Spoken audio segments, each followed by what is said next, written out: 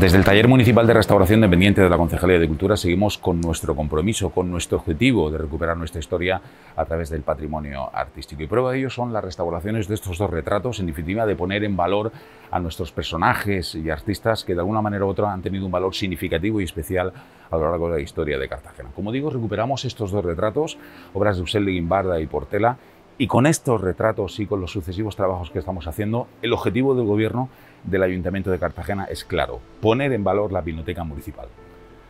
Presentamos la restauración de dos retratos pertenecientes a la Pinacoteca Municipal de Cartagena, dos retratos que mm, tienen su historia curiosa y su eh, paso a través del tiempo y sus marcas, por tanto, de, este, de este paso.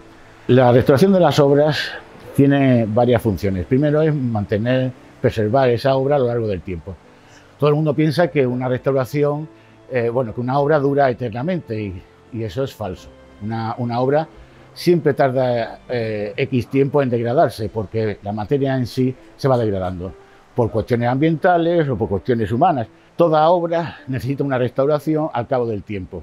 Bueno, el primero, eh, un retrato de un militar desconocido, eh, hemos podido localizar el tipo de medallas que tenía y las condecoraciones, que es la gran eh, cruz de la Orden de San Hermenegildo y la gran cruz de mérito militar con distintivo rojo.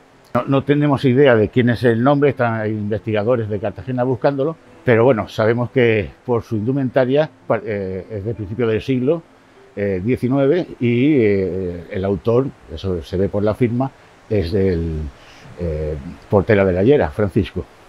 El siguiente, este es eh, un personaje ilustre de Cartagena, que la obra está abandonada durante mucho tiempo.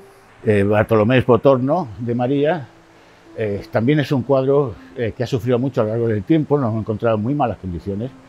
el soporte había desaparecido prácticamente en la zona inferior, tenía una antigua restauración de una rotura de la tela y hemos tenido que aplicarle un tratamiento totalmente completo.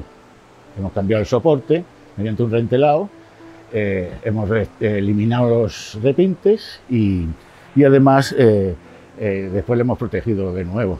Bueno, es curioso porque este señor fue alcalde de Cartagena en tres periodos diferentes y ya digo que es un personaje y su familia también ha sido importantísima en la historia de Cartagena y en la historia de España.